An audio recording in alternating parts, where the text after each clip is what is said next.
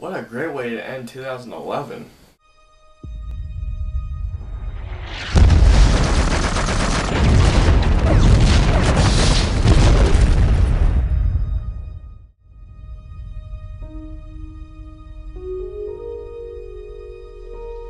What is it? It's a horse they found wandering about in no man's land.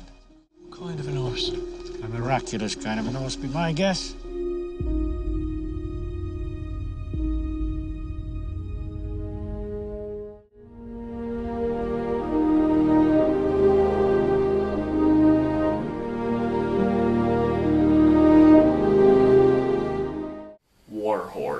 So War Horse stars Jeremy Irvine as Albert Narracott, whose dad, played by Peter Mullan, buys a sort of a baby horse. Albert develops a very strong bond with the horse, who he names Joey, trains him from when he was born and other such things, until his horse gets bought by the army to to go in the war. Forms new storylines, well, really small subplots. I absolutely loved War Horse. This movie delivers on every level. The horse basically weaves the other people's subplots together. The way that the movie does it, it's done fantastically. All the performances are great. Jeremy Irvine gives a great performance. Emily Watson gives a great performance.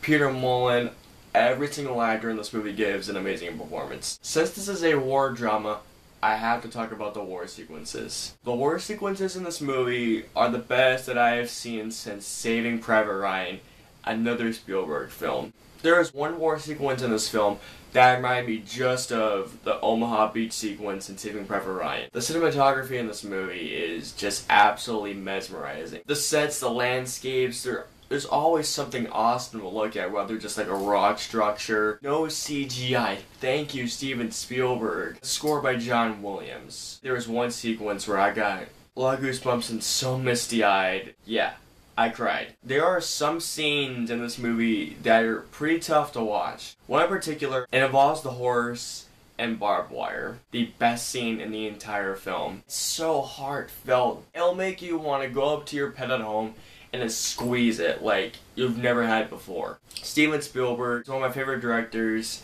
He does a phenomenal job of directing this film. The writing in this movie is absolutely amazing. There's nothing bad I can think of. Overall, War Horse is one of the best films of the year.